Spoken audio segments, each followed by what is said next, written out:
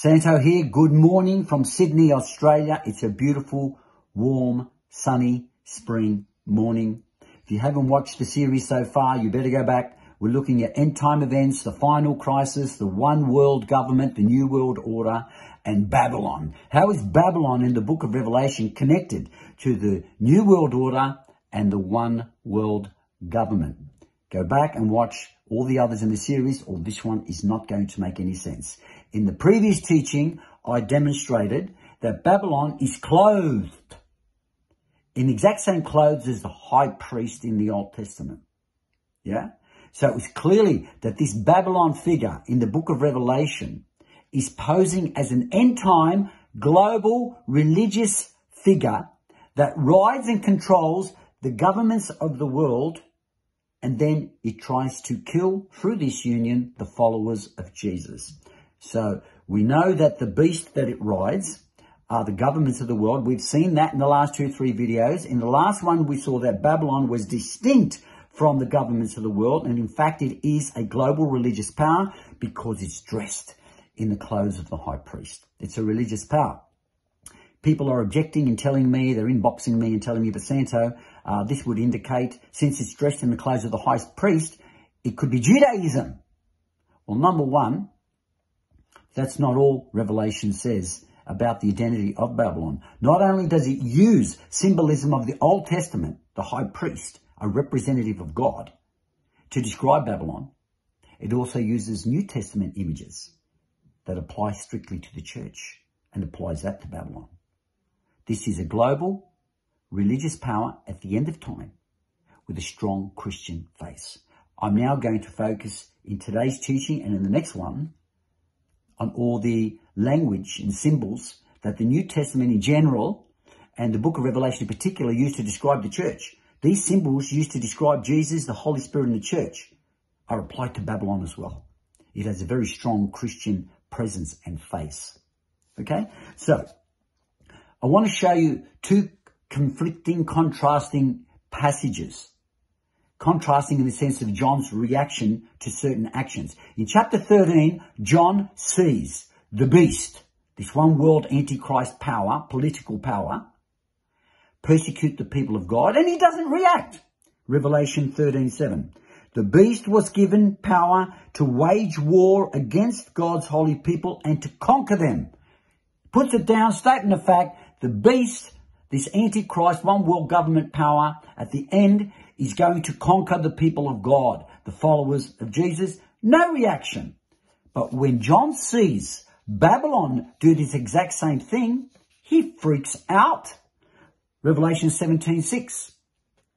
I saw the woman Babylon was drunk with the blood of God's holy people, the blood of those who bore testimony to Jesus. And when I saw her, I was greatly astonished. Why wasn't he astonished when he saw the beast kill the people of God? But when he saw the woman Babylon do it, he was shocked. I was shocked when I saw her doing it. Do you want to know why? He already saw this woman in chapter 12, and it was a description for the people of God, the followers of Jesus. It ends up falling away and ends up persecuting the true followers of Jesus within her. Babylon is fallen religion at the end of time globally with a very strong Christian face. Let's have a look at the Christian images in the book of Revelation and the Gospels and how they're applied to Babylon.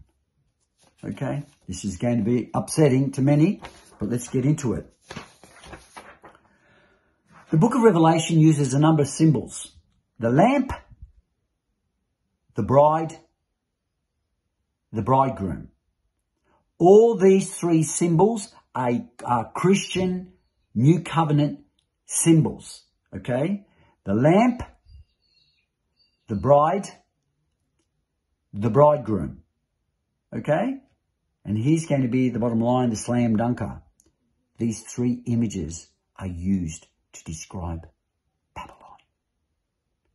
Babylon is a religious system at the end of time with a strong Christian base and ends up persecuting the followers of Jesus. Let's have a look at the image of lamp, a lamp. Revelation 4, 5. From the throne of God came flashes of lightning, rumblings, and peals of thunder. In front of the throne of God, seven lamps were blazing. These are the seven spirits of God. A lamp in the book of Revelation is a symbol of the presence of the Spirit of God. A lamp in the book of Revelation is a symbol for the presence of the Spirit of God. Okay? But that's not only it. The lamp is also a symbol of something else. Revelation 21, 23. The New Jerusalem does not need the sun or the moon to shine on it. For the glory of God gives it its light, and the Lamb, the Lamb, Jesus, is its lamp. The lamp is a powerful symbol in the book of Revelation to describe the presence of the Holy Spirit and the presence of Jesus. Very strong images. Let's look at another image. The bride. The bride. Revelation 19.7. What's this image about in the book of Revelation? Revelation 19.7. Let's rejoice and be glad and give God the glory because the marriage of the Lamb has come and his bride has prepared herself. The bride of Christ in the book of Revelation is are the followers of Jesus. You go to Matthew 25, it's very clear there that the bridegroom is Jesus and the bride are the followers of Jesus. And we're going to look at Matthew 25 in a moment. So the lamp represents the presence of the indwelling of the Holy Spirit. The lamp is also a symbol for the presence of Jesus giving light. The bride is a symbol for the followers of Jesus. Christian, Christian, Christian, new covenant language, yes. And then we've got another one, the bridegroom, the bridegroom. Matthew 9, 15. There are four or five I could give you. There's two or three references in Matthew 25 to the bride and the bridegroom, identifying the bride as the followers of Jesus, yeah, who are in relationship with Jesus, and the bridegroom being Jesus. But I'm going to give you a different one. Okay, Matthew 9, 15. What does a bridegroom represent in the new covenant? Jesus said to them, Can wedding guests mourn while the bridegroom is still with them? Him. But the time will come when the bridegroom is taken away from them, then they will fast. The bridegroom is a symbol of Jesus. The bride is a symbol of the followers of Jesus. The lamp is a symbol for the presence of the Holy Spirit, and the lamp is a symbol for the presence of Jesus, the Lamb. Okay? All strong New Covenant images. Now comes the shocker. Why was John astounded when he saw that the woman Babylon was killing the followers of Jesus? But he wasn't when the beast was doing it. Because Babylon, the woman who became a harlot, was originally the people of God, but then had fallen away and then started to persecute the true people of God within her. Okay? Now let me show you how these three symbols, the lamp for the Holy Spirit, the lamp for Jesus, the bridegroom for Jesus, and the bride for the church. New covenant symbols, yeah? For new covenant symbols for the church and Jesus and Holy Spirit. Okay, let's have a look at Revelation 18.23 and note how these symbols come together with reference to the identity of Babylon. This is why John's shocked. He says, oh my goodness, Babylon was a pure woman and now she's become a fallen woman and a persecutor of the true followers of Jesus. That's why he's shocked, he's gutted. Revelation 18.23, listen for the symbols of Babylon. Who is Babylon? Revelation 18.23, and the light of the lamp, Babylon, will never shine in you again. Stop. Never shine again. That means it once did. The light of a lamp will never shine in Babylon again. It did once. The lamp, the presence of Jesus, the presence of the Holy Spirit will never shine in you again, Babylon. Babylon once had the presence of the Spirit of God and Jesus, and now it's gone. Fallen, fallen is Babylon. It once had Jesus and the Holy Spirit in it. Wow. This religious power, dressed in high priest's clothes, yeah, had Jesus in it and the Holy Spirit in it. But not only that, and then gone. It's fallen, see. Not only that, let's keep reading. Verse 23, and the light of a lamp, the presence of Jesus and the Holy Spirit, will never shine in you again, Babylon. He didn't say they were never there in the first place. He said they'll never shine in you again. Had it, lost it. Lost Jesus and lost the Holy Spirit. The light of a lamp, Jesus and the Holy Spirit, will never shine in you again, Babylon. And the voice of the bridegroom and the bride shall never be heard in you, Babylon, again. The bridegroom, Jesus, and the bride, the followers of Jesus, was in. Jesus was in Babylon. The lamp. The Holy Spirit was in Babylon. The lamp.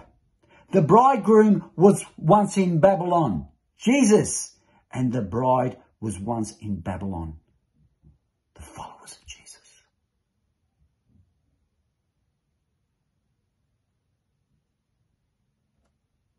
The woman, Babylon.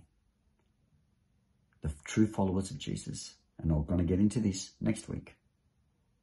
The woman was a pure woman in Revelation 12, the followers of Jesus. And she's fallen. And now she becomes the persecutor. And John said, what has happened to the followers of Jesus? Next week, we'll deal with that.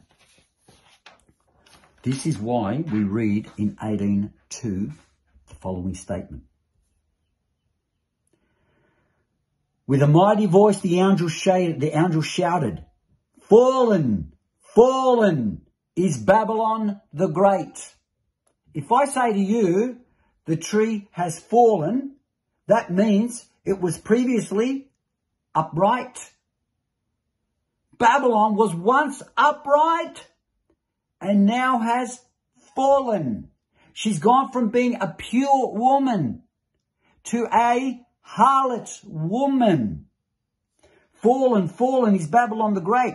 She has become the dwelling place for demons. So originally, she was not a dwelling place for demons. It's something that she has become because she has fallen, because she was a pure woman, and now she's become an adulterated woman. She has become a dwelling place for demons. She once was, but she's become that. She was once the dwelling place for the Spirit of God. Now she has become the dwelling place of the demons. Can you see why John is gutted? Totally gutted. And then she kills the true followers of Jesus who were still in her. And that's why we read in 18.4 this statement. Are you ready? I heard another voice from heaven saying, Come out of Babylon, my people. What the heck are God's followers, the followers of Jesus, the people of God doing in Babylon? Because Babylon, prior to its falling, prior to becoming uh, inhabited by demons, was the woman pure and she's become a harlot. It's now become adulterated, prostituted, the movement of the people of God, but there are still true ones in there. And Jesus calls them out, come out, because she's about to kill you. Babylon is an end time global religious power dressed in the clothes of the high priest, the representative of God, with a strong Christian face. Babylon, this figure that was once the movement of God, will one day control the governments. We're not seeing this yet, but I smell it. Global religion with a strong Christian face is going to one day control the governments of the world. It'll have an agenda called the Great Reset, which I'm going to get into. It's there. I didn't read you all of verse 23, but it's there. Religion with the Christian faith globally is going to control all the governments of the world with an agenda and then persecute the true followers of Jesus. Babylon was once upright. It was fallen. It was a pure woman. It became a prostitute woman. It had the lamb in it. It's gone. It had the lamp in it. It's gone. It had the bridegroom in it. It's gone. And it had the bride in it, the church. And it's gone. And it's fallen. And God says to those who were true within Babylon, that was once the pure woman, now the adulterated woman, you guys who are faithful and true, it's now time. It's time to go. My people have fallen. Why did she fall? Is the fall of Babylon and how it happened described in the book of Revelation? Yes, it is. It's in chapter 12 and chapter 13. We're going to get back to that next week. God bless you.